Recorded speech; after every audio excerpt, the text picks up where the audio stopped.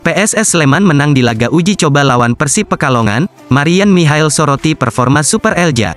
Pelatih PSS Sleman, Marian Mihail menilai anak asuhnya tampil kurang memuaskan saat menjalani uji coba melawan tim Liga 3, Persib Pekalongan, Selasa, tanggal 6 Juni tahun 2023. Bertanding di lapangan Pakembinangun, PSS Sleman menang dengan skor 2-0 atas Persib Pekalongan.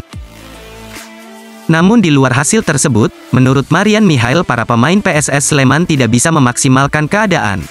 Saya sama sekali tidak senang. Menurut saya permainan kami hari ini melawan Persib Pekalongan cukup buruk. Saya tidak tahu apakah karena pemain kami kelelahan atau pemain sudah ingin segera pulang ke rumah untuk menemui keluarganya, kata Marian Mihail kepada Tribun Jogja seusai melakoni uji coba.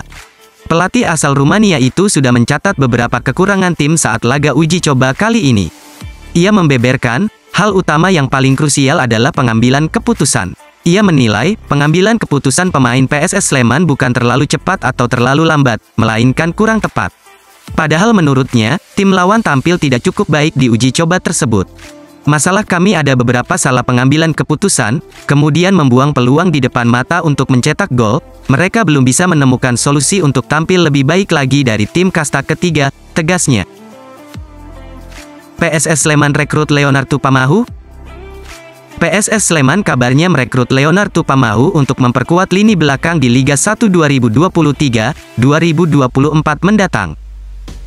PSS sempat mengincar beberapa nama untuk menempati bek tengah, termasuk Yanto Basna dari Bayangkara FC dan belakangan, Super Elang Jawa mengalihkan fokus kepada Leo Tupamahu yang belum mempunyai pelabuhan baru setelah berpisah dengan Bali United.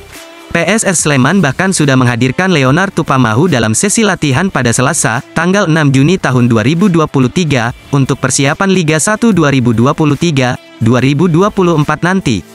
Leo Tupamahu menggenapi skuad PSS, artinya, jumlah pemain PSS sudah cukup, tidak akan ada lagi rekrutmen, beber sumber tribunjogja.com.